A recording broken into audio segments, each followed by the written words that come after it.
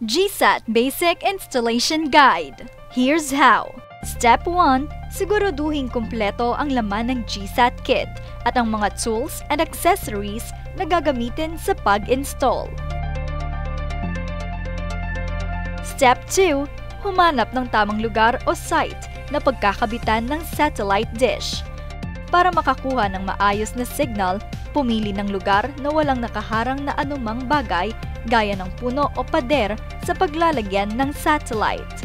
Step 3. Buuin ang GSAT satellite dish. Sundan ang wastong pagbuo nito ayon sa GSAT manual. Step 4. Gamitin ang isang compass. I-install at itapat ang GSAT satellite dish sa 220 degrees southwest.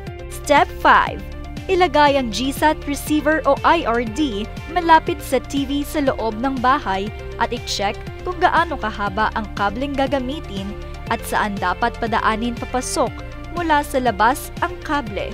Step 6. Ikabit ang IRD box sa TV. At ikabit na ang coax cable mula sa dish papunta sa IRD box. Siguraduhin nakakabit na ang lahat ng koneksyon at i-on ang TV at IRD box. Step 7. Sa GSAT remote control, pindutin ang menu at installation na lalabas sa TV screen. Pumunta sa antenna setup at tignan ang signal strength at signal quality na lalabas sa TV screen upang matiyak na may makukuha itong signal. Step 8.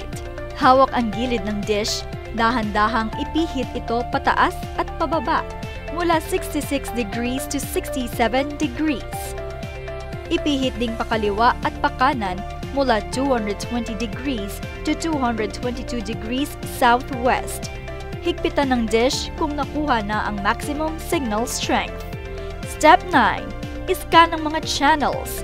Mula sa installation, pumunta sa TP list. Pindutin ang blue button na makikita sa GSAT remote control. Pagkatapos ay lalabas ito sa inyong TV screen. I-click ang OK button para sa pag-scan ng mga channels. Step 10.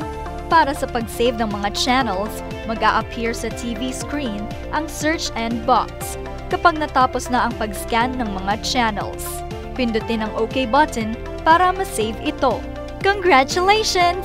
Maaari mo nang ma-enjoy ang iyong GPinoy at GSAT satellite cable.